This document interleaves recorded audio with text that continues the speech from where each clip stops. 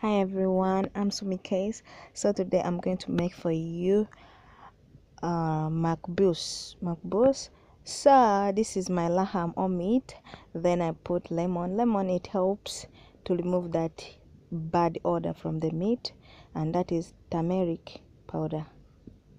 So i closed it in the pressure cooker for 10 minutes. This is onions green pepper and some green other which makes the makbous to smell good. This is garlic or garlic powder. So those are my ingredients i'm gonna use then now we're gonna start to cook. Enjoy the recipe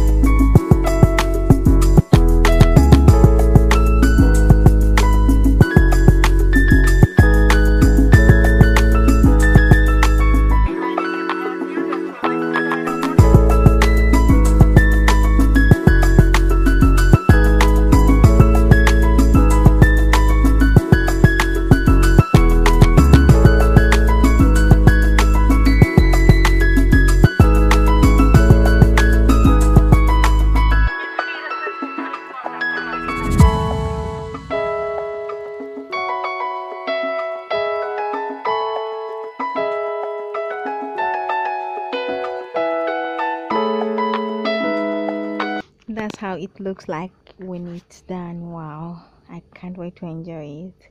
So like subscribe and comment. I love you all